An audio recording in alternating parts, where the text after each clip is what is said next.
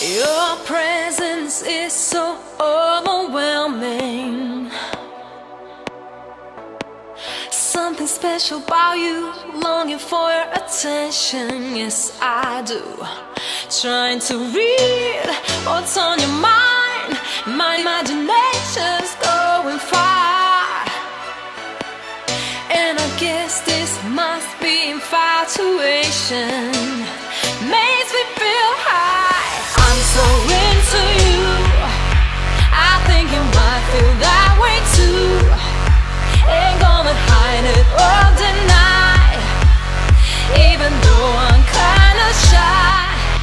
infatuated